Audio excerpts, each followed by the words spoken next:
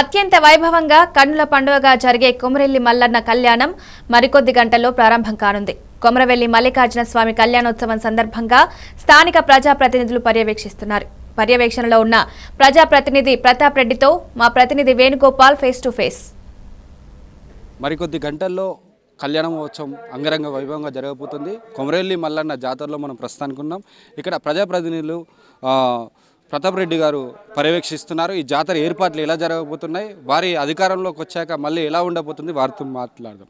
Sir చెప్పండి ఎలా జరగబోతున్నాయి వేడుకలు మళ్ళీ? మల్లికార్జున గారి కళ్యాణం చాలా వైభవంగా జరగబోతుంది రేపు. కావాల్సిన వసతులన్నీ కూడా మా ఎండోన్మెంట్ మినిస్టర్ సురేఖ గారు ముఖ్యమంత్రి గారి ఆదేశాల ప్రకారంగా అధికారులకు చెప్పి అన్ని వసతులు చేయడం జరిగింది. ఎలాంటి ఇబ్బంది ఉండదు. ఎన్ని వేల మంది వచ్చినా కానీ ఎలాంటి ఇబ్బంది లేకుండా అన్ని సౌకర్యాలు చేయడం జరిగింది.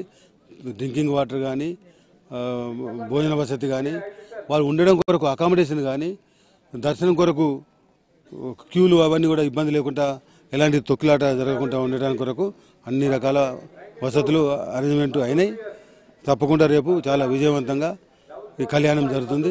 ఎందుకంటే ఈ ప్రాంత ప్రజలు తెలంగాణ ప్రజలు సుఖ సంతోషంగా ఉండాలని మరి ముఖ్యంగా ఈ చేరాల ప్రాంత ప్రజలు సుఖ సంతోషంగా ఉండాలని పాడి పంటలతో మంచిగా అభివృద్ధి కావాలని చెప్పేసి ప్రతి సంవత్సరం దేవుని కళ్యాణం జరుగుతుంది. ఇది ఈనాడు కాదు ఎప్పుడు కొన్ని వేల సంవత్సరాల నుంచి జరుగుతూ ఉన్నది. అంద ప్రతి సంవత్సరం భక్తులు పెరుగుతూ ఉన్నారు. ఇప్పుడు చాలా కొన్ని వేల మంది భక్తులు అయినారు.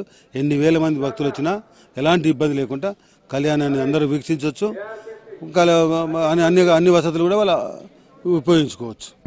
జాతరకు విచ్చేయమని సీఎం రేవంత్ రెడ్డి గారికి ఇక్కడికి ఆలయ అర్చకులు సిబ్బంది కూడా వెళ్ళారని తెలిసింది.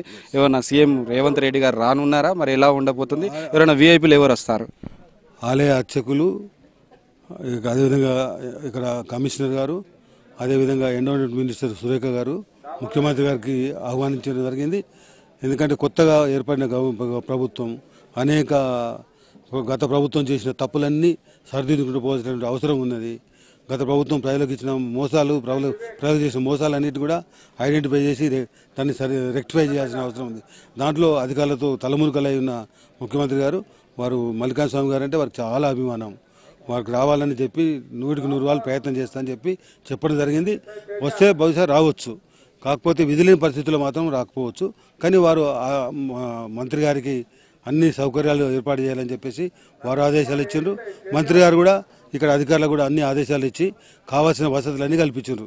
కావాల్సిన బడ్జెట్ కానివ్వండి మండల కమిటీ కానివ్వండి ఇవన్నీ కూడా ఏర్పాటు చేయడం జరిగింది. ఎలాంటి ఇబ్బంది ఉండదు. ఎన్విరాన్మెంట్ మినిస్టర్ గారు తప్పకుండా వస్తారు. వారితో పాటు మా పొన్నం ప్రభాకర్ గారు వారు కూడా వస్తారు. ఇంకెవరైనా కానీ భక్తులు చాలామంది ఉన్నారు. అందరూ ప్రతి ప్రతి మంత్రి కూడా భక్తులే ఇక్కడ. ఇది తెలంగాణ దేవుడు. మల్లికార్జున స్వామి అంటే తెలంగాణ దైవం.